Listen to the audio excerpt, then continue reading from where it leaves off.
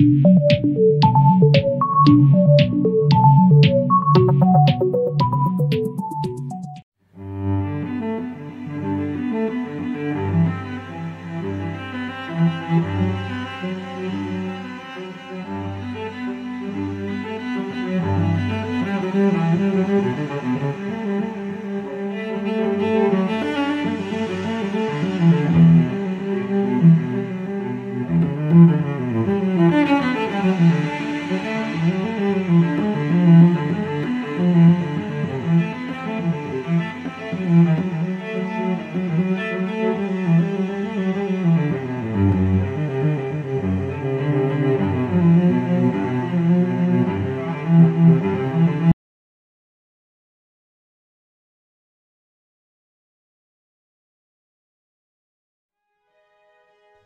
Quilombo dos Palmares foi e é considerado até hoje o maior espaço de refúgio e resistência de escravos fugitivos dos engenhos das capitanias de Pernambuco e da Bahia durante o Brasil colônia.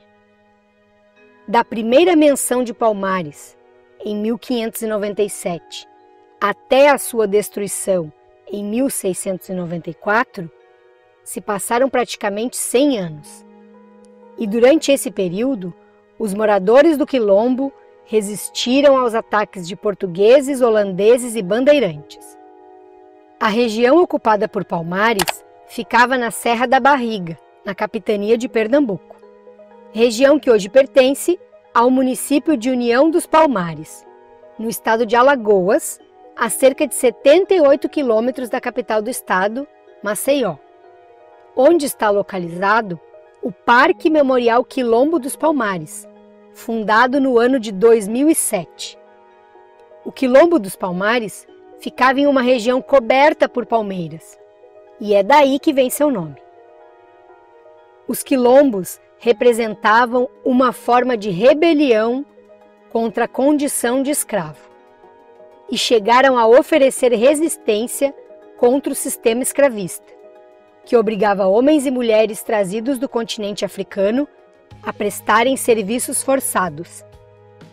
Os escravos trabalhavam nas lavouras, casas de engenhos e casas senhoriais, de maneira desumana e sem qualquer tipo de remuneração. Na época, a fama e a memória de Palmares se espalharam pelo Brasil e inspiraram outros quilombos, o que causou insegurança nos donos de escravos, porque eles tinham medo que o fenômeno de Palmares se repetisse em outros lugares do Brasil colonial. As primeiras menções sobre um quilombo na região da Serra da Barriga são de 1580. E ao que tudo indica, Palmares começou abrigando escravos que haviam fugido das lavouras e dos engenhos da capitania de Pernambuco. E aos poucos foi recebendo mais e mais pessoas até chegar ao seu auge durante a guerra travada por Portugal contra os holandeses para retomar parte da região Nordeste. Palmares cresceu muito durante as invasões holandesas no Brasil, porque a vigilância nas fazendas ficou fraca devido aos confrontos entre Portugal e os batavos. A falta de vigilância fez com que centenas de escravos fugissem para a região da Serra da Barriga. Pouco a pouco, começaram a surgir os primeiros núcleos de povoamento, também conhecidos como mocambos. O Cerca Real do Macaco, que era o maior centro político do Quilombo, que tinha cerca de 1.500 habitações, e o Subupira, por exemplo, que centralizava as atividades militares e tinha cerca de 800 habitações. Alguns historiadores estimam que em 1670 Palmares alcançou a marca de cerca de 20 mil moradores, contando escravos fugidos, indígenas desertores de forças militares e homens livres pobres. No principal mocambo, o Cerca Real do Macaco, viviam aproximadamente 6 mil pessoas, quase a população do Rio de Janeiro no ano de 1660, estimada em 7 mil habitantes, incluindo indígenas e africanos. A população que morava em Palmares sobrevivia principalmente da caça, pesca, coleta de frutas e da agricultura. Mas eles também faziam peças em cerâmica, cestarias, produziam tecidos e trabalhavam com metalurgia. Eles produziam para seu próprio consumo, mas o que sobrava era vendido ou trocado nas populações vizinhas ao quilombo.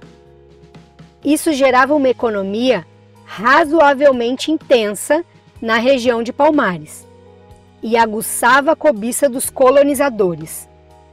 Tanto que os colonos chegavam a alugar terras para plantio e trocar alimentos por munição com os quilombolas. Palmares resistiu às investidas dos holandeses, que ocuparam o Nordeste brasileiro durante um bom tempo. Mas quando os batavos foram expulsos, a comunidade de Palmares teve que lutar contra os portugueses, que queriam escravizar novamente a sua gente e se apossar de suas terras e colheitas. Já que com a expulsão dos holandeses do Nordeste do Brasil, os senhores de engenho necessitavam de um número cada vez maior de escravos para retomar a produção açucareira. Na luta contra os colonizadores, surgiram personagens, líderes de Palmares, que deixaram seus nomes escritos na história brasileira.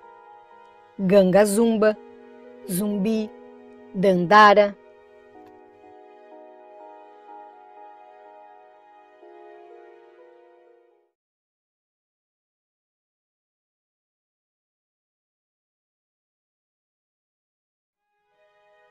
O primeiro grande líder do Quilombo dos Palmares foi Ganga Zumba.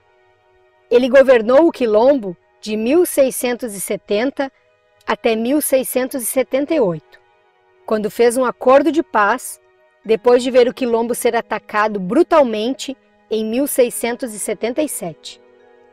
O resultado do ataque foi a resistência, a morte de um filho de Ganga Zumba, que também ficou ferido, e a prisão de 47 pessoas, entre elas dois filhos de Ganga Zumba. Em 1678, Zumba foi até Recife para firmar um pacto de paz com o governador de Pernambuco, Aires de Souza e Castro. O acordo exigia que os quilombolas entregassem as suas armas em troca da doação de terras e da alforria. Só que a liberdade só seria concedida aos negros nascidos no quilombo. Os outros deviam retornar para o cativeiro. O pacto dividiu Palmares. Gangazumba então abandonou o quilombo, seguido por seus homens, entre eles importantes chefes militares. Entre os descontentes com o acordo estava Zumbi, outro personagem que entrou para a história como herói da resistência de Palmares. Ele desafiou o tratado, se revoltou contra Gangazumba e continuou a resistência contra a opressão portuguesa. Gangazumba morreu envenenado e, ao que tudo indica, por um seguidor de Zumbi. Depois da morte de Gangazumba, Zumbi se tornou o novo líder do Quilombo e resistiu até 1694, quando a capital de Palmares foi destruída. Outra personagem importante no contexto da história de Palmares foi Dandara.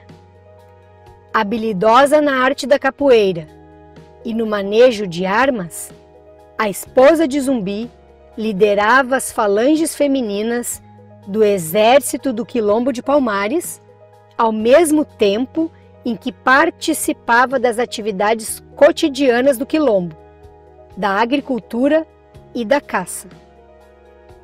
Não se sabe ao certo se Dandara nasceu no Brasil ou no continente africano. ela teria se juntado, ainda menina, ao grupo de pessoas negras que desafiaram o sistema colonial escravista por quase um século e que moraram no Quilombo dos Palmares.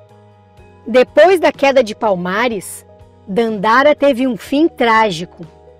Ela foi capturada pelos portugueses em fevereiro de 1694 e preferiu se suicidar, se jogando de uma pedreira a ser escravizada. Seu legado permanece como um símbolo de resistência.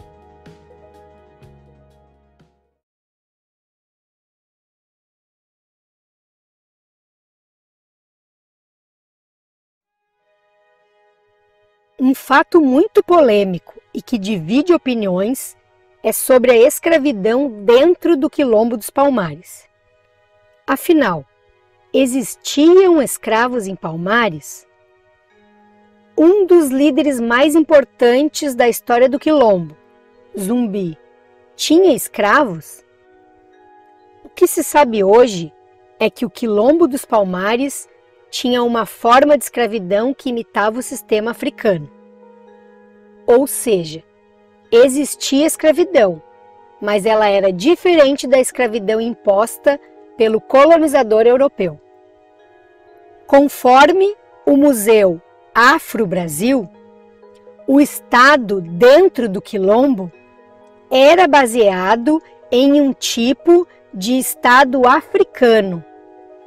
O chefe chamado de rei por força de expressão, era eleito, contestado e podia até chegar a ser afastado por uma Assembleia Geral dos Quilombolas. Mas isso não significa que Palmares era uma democracia. O local ainda tinha muitas das características sociais do século XVII. Segundo historiadores, provavelmente o regime escravista de Palmares fosse parecido com o sistema que existia no continente africano, onde os presos de guerra eram forçados a trabalhar a terra por um tempo, como uma forma de punição. Nessa forma de escravidão, eles teriam alguns direitos garantidos, o que não acontecia na escravidão comandada pelos brancos. E mais, a historiografia afirma não existir um conceito específico para identificar o sistema político-social de Palmares. Nesse sentido, a política da terra de Palmares pode ser vista como uma socialização, em que não havia propriedade, posse, dinheiro e classes sociais. Por outro lado, alguns autores apontam a existência de uma escravidão até mesmo predatória por parte dos habitantes do Quilombo dos Palmares, que realizavam incursões nos territórios vizinhos, como as fazendas, de onde traziam à força indivíduos para trabalharem como escravos em suas plantações, desenvolvendo assim uma espécie de escravismo dentro da própria República. Os escravos que se recusavam a fugir das fazendas e ir para os quilombos, também eram capturados e convertidos em cativos dos quilombolas.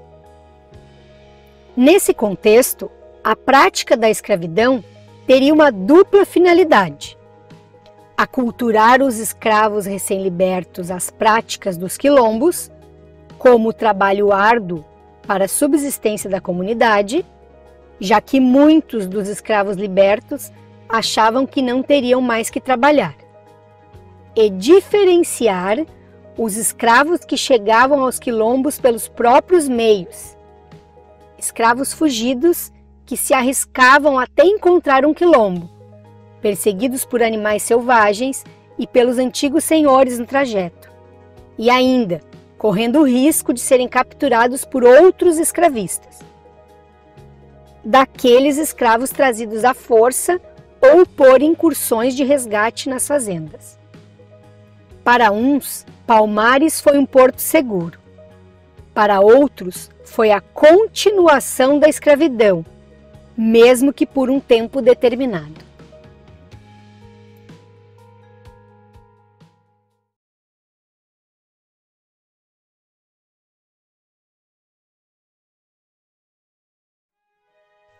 Desde que negros fugitivos dos engenhos da capitania de Pernambuco se esconderam na Serra da Barriga e criaram Palmares, que também era conhecido como Angola Janga e Angolinha, eles tiveram que defender a sua liberdade e o seu modo de vida contra os ataques dos inimigos. Desde que foi criado, o quilombo sempre viveu em pé de guerra contra os colonizadores europeus. Mas foi depois que Portugal conseguiu expulsar os holandeses de Pernambuco que os confrontos se intensificaram. Com os batavos fora do jogo, os portugueses voltaram as suas atenções para Palmares. Sem os holandeses por perto, os fazendeiros queriam de volta sua mão de obra que havia escapado e fugido para Palmares, para retomar os negócios nas fazendas. Muitas expedições contra Palmares foram derrotadas porque os quilombolas adotavam a guerra de emboscada, abandonando os mocambos para atrair o inimigo para a luta dentro da mata. Em 1663, o capitão negro Gonçalo Rebelo comandou 200 soldados negros contra Palmares. Foram cinco meses de luta. E a expedição retornou com 40 prisioneiros. Todos foram degolados. Eram comuns também os ataques dos palmarinos no litoral para roubar armas, libertar negros e se vingar de senhores e feitores dos engenhos. Em 1670, por exemplo, os palmarinos atacaram e destruíram uma fazenda de gado onde hoje fica Garanhuns. Em 1677, uma vitoriosa expedição sob comando do capitão de infantaria Fernão Carrilho retornou com 200 prisioneiros quilombolas. Palmares continuou a ser uma pedra no sapato do Estado português até 1687, quando o bandeirante Domingos Jorge Velho foi contratado e se comprometeu com o governador de Pernambuco que iria destruir Palmares por completo. Jorge Velho e seus homens passaram a atacar o quilombo e, mesmo tendo experiência na luta de extermínio contra os indígenas, tiveram grandes dificuldades para vencer as táticas dos quilombolas porque as técnicas de guerrilha dos palmarinos eram bem mais elaboradas do que a dos indígenas. Em 1892, o líder bandeirante partiu em direção a Palmares com um exército formado por brancos, mamelucos e também indígenas. O apoio das tribos indígenas contra os habitantes de Palmares colaborou para que o quilombo fosse destruído. A essa altura, a destruição de Palmares era uma questão de honra para o bandeirante e para o governo. Um reforço de 200 homens e seis canhões, enviados pelo governo português, chegou à região. E para se aproximar do quilombo, com mais segurança, Jorge Velho ordenou a construção de uma contra-cerca que permitiu a aproximação dos canhões do Quilombo. 5 de fevereiro de 1694. Dois dias antes da destruição total do Quilombo, os dois exércitos entraram mais uma vez em confronto. Os quilombolas foram encurralados à beira de um despenhadeiro e centenas de negros caíram no precipício.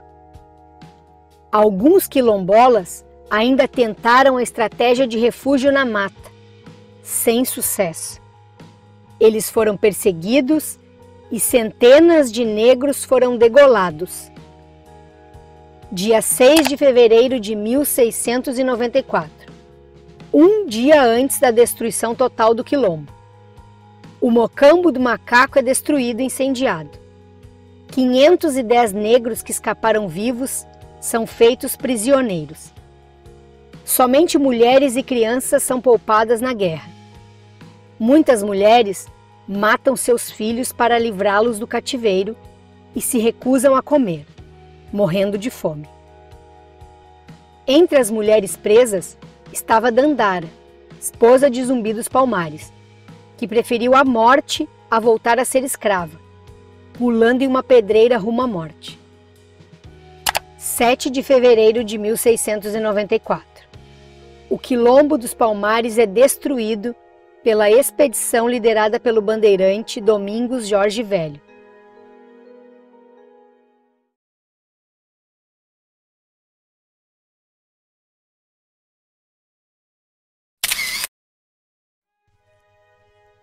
Depois da destruição do Quilombo dos Palmares, começaram a surgir rumores de que o líder quilombola Zumbi havia escapado com vida. Isso irritou muito o governo, os fazendeiros, o governador de Pernambuco, mas principalmente o bandeirante Domingos Jorge Velho. Por muito tempo, se acreditou que Zumbi tivesse cometido suicídio em 1694. Mas hoje, sabemos que depois que a expedição de Jorge Velho destruiu o mocambo do macaco, Zumbi e outros sobreviventes fugiram e se esconderam nas matas da Serra Dois Irmãos e ficaram lá durante um ano e meio, embrenhados no mato e resistindo a todas as adversidades. No ano de 1695, Zumbi foi reconhecido com um grupo roubando armas de um vilarejo de Pernambuco. E a notícia chegou ao conhecimento de Jorge Velho, que tratou de colocar homens no encalço do líder quilombola. Durante seu último ano de vida, Zumbi teve que lidar com alguns conflitos ao lado de outros homens que participavam da rebelião. Mas a sorte de Zumbi mudou quando Antônio Soares, homem de sua confiança, foi capturado pelos bandeirantes. Depois de muita tortura e diante da promessa de sua liberdade, Soares revelou o esconderijo do chefe, na Serra Dois Irmãos. No dia 20 de novembro de 1695, Antônio Soares conduziu um grupo de 15 bandeirantes paulistas, comandados pelo capitão André Furtado de Mendonça, até o local onde o zumbi estava escondido. Chegando ao local, o próprio Soares teria apunhalado e matado o zumbi. Quando examinado, o corpo de zumbi apresentou 15 ferimentos à bala e inúmeras facadas. A história nos conta que os bandeirantes arrancaram um dos olhos do líder quilombola e cortaram a sua mão direita. E também deceparam os órgãos genitais de zumbi e enfiaram em sua própria boca. Sua cabeça foi cortada, salgada e levada ao governador Melo e Castro. E ficou exposta em praça pública para acabar com o mito da imortalidade de Zumbi dos Palmares. Após derrotar e matar Zumbi, o capitão foi premiado com 50 mil réis pelo monarca Dom Pedro II de Portugal. A data da morte de Zumbi, uma das principais lideranças negras da história do nosso país, em 20 de novembro, foi adotada como o Dia da Consciência Negra no Brasil. A região que acolhia o núcleo do Quilombo dos Palmares na Serra da Barriga, em Alagoas, ganhou reconhecimento internacional em 2017, quando a área foi certificada como Patrimônio Cultural do Mercosul.